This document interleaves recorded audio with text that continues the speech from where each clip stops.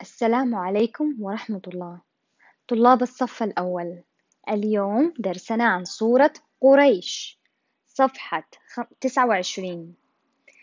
أعوذ بالله من الشيطان الرجيم. بسم الله الرحمن الرحيم. لإلاف قريش إيلافهم رحلة الشتاء والصيف. فليعبدوا رب هذا البيت الذي أطعمهم من جوع وآمنهم من خوف. الآن بسيبكم مع فيديو يحكي لكم قصة قريش. وبعدين بنرجع نكمل الصور الباقية اللي موجودة في الكتاب. نناقشهم مع بعض. معنا صورة جديدة هي صورة قريش. بسم الله الرحمن الرحيم. لإيلاف قريش.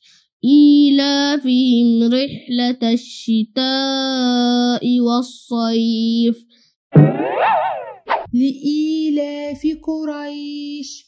إيلافهم معناها يا حبايبي اعتادت قريش وأحبت. قريش يا حبايبي دول ناس كانوا عايشين في مكة أيام النبي صلى الله عليه وسلم وكانوا متعودين على رحلتين للتجارة كل سنة رحلة في الصيف للشام ورحلة في الشتاء لليمن. والتجارة يا حبايبي معناها إنهم يبيعوا حاجات ويشتروا حاجات فليعبدوا رب هذا البيت الذي أطعمهم من جوع وآمنهم من خوف. ربنا يا حبايبي أنعم على قريش بنعم كتير جدا جدا. وأهم نعمة يا حبايبي إنهم كانوا ساكنين جنب الكعبة والكعبة دي بيت ربنا. وكمان ربنا أنعم عليهم بإيه تاني بإنه رزقهم وبقوا أغنياء بعد ما كانوا فقراء.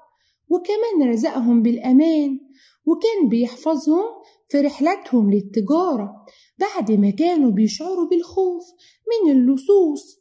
عشان كده ربنا يا حبايبي بيطلب منهم إنهم يعبدوه ويشكروه على كل النعم دي. سمعنا بالفيديو وفهمنا معنات لإله في قريش إيلافهم معناته إيش؟ أعتادت وأحبت. أعتادت بمعنى أتعودت وأحبت.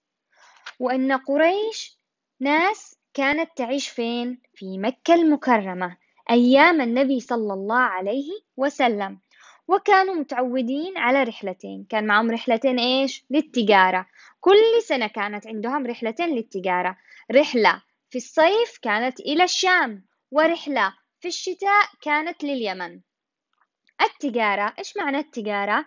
معنى التجارة إنهم يروحوا يبيعوا ويشتروا حاجات يبيعوا ويشتروا حاجات بعدين إيش قالت الآيات؟ فليعبدوا رب هذا البيت الذي أطعمهم من جوع وآمنهم من خوف رب, رب الله تعالى أنعم على قريش نعم كثيرة. وكانوا هم إيش؟ أول نعمة إنهم كانوا يسكنوا فين؟ يعيشوا يسكنوا بمعنى يعيشوا يعيشوا جنب الكعبة وهي بيت الله. وأنعم عليهم كمان إنه رزقهم كانوا قريش فقراء. الله تعالى لما خلاهم يروحوا للتجارة هذه كانت في الصيف إلى إيش؟ إلى الشام وفي الشتاء إلى اليمن. بعد ما أصبحوا يروحوا يبيعوا ويشتروا بالتجارة هذه يسووا التجارة. أصبحوا أغنياء بعد ما كانوا فقراء. وكمان هم كانوا لما يروحوا الرحلة يخافوا يخافوا إنه في يجي لهم سرق يجي حد يتقطع عليهم الطريق كانوا يخافوا. فالله إيش قال؟ الذي أطعمه أطعمهم من جوع وآمنهم من خوف. الله خلاهم يحسوا بالأمان وحفظهم. عطاهم الأمان وحفظهم برحلتهم لما كانوا يروحوا للتجارة لأنهم كانوا يحسوا بالخوف فالله أعطاهم الأمان. الله تعالى إيش طلب منهم؟ لما هو أعطى لهم الأمان وخلاهم أغنياء بعد ما هم كانوا فقراء قال إيش؟ لازم إنه إيش؟ يعبدوا الله. فليعبدوا الله ويشكروه. لازم هذا كل أصحاب قريش يشكروا الله على هذه النعم ويعبدوها نحن إيش نتعلم؟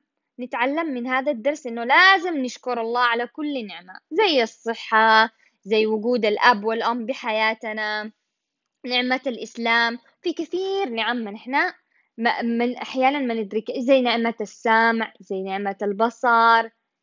الآن معانا هنا الصورة مكة بلاد قاحلة بلاد قاحلة. معناته تشوفوا كيف كانت الكعبة حوله كان زي الصحراء قاحلة معناته كأنها زي الصحراء. تشوفوا الآن مكة كيف تغيرت؟ الآن بنوا كثير حاجات حوله والمسجد رفعوا النوم. مكة ما عادش زي زمان كانت زمان كده زي الصحراء قاحلة. معنا الصورة الثانية فليعبدوا رب هذا البيت. معناته إيش؟ إنه لازم قريش تعبد رب هذا البيت. من رب هذا البيت؟ الله تعالى.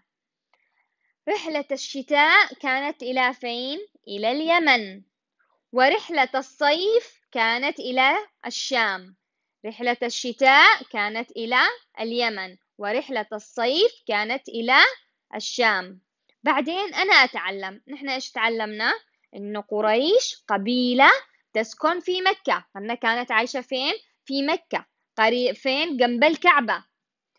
اثنين كانت لقريش رحلتين. تتذكروا معي إيش هم أيوة رحلة الشتاء إلى اليمن ورحلة الصيف إلى الشام. ثلاثة الكعبة هي بيت الله وقبلة المسلمين. الكعبة إيش؟ بيت الله وقبلة المسلمين. نحن لما نيجي نصلي نفرش السجادة الإيش من اتجاه؟ اتجاه القبلة. قبلة المسلمين إيش؟ الكعبة. أربعة. الله تعالى أطعم قريش من جوع وآمنهم من خوف. نحن قلنا إيش؟ إنه قريش كانت فقيرة. والله تعالى خلاهم يسووا تجارة ويصبحوا إيش؟ أغنياء. وآمنهم من خوف. كانوا يخافوا لما يروحوا هذه الرحلات إنه لو يكون في سراق يتقطعوا لهم أحد يسرقهم. فالله تعالى خلاهم إيش؟ حفظهم وخلاهم يحسوا بإيش؟ بالأمان.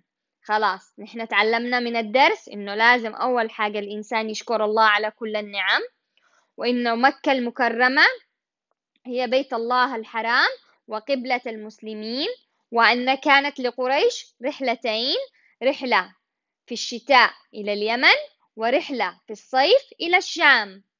وأن إيش؟ وهم كانوا قريش فين يسكنوا؟ في مكة جنب الكعبة المك... جنب الكعبة. واستودعكم الله. السلام عليكم ورحمة الله.